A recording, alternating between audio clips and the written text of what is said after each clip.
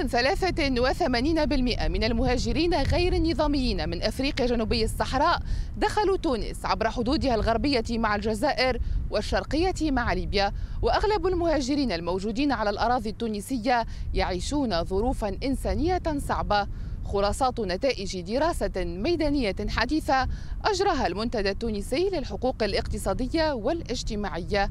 الحدائق العامة كما الشوارع باتت ملاذ أكثر من نصف المهاجرين غير النظاميين تجنبا للملاحقات الأمنية وسط تصاعد وتيرة دعوات المواطنين لترحيلهم خاصة من محافظة صفاقس شرق البلاد إحدى أهم محطات العبور إلى أوروبا.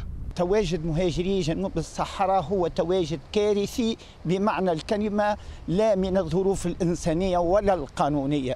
الدولة التونسية تقول لا نستطيع تدخل الدولة التونسية في ملف الهجرة النظامية ووجود مهاجري جنوب الصحراء غائبة تماما.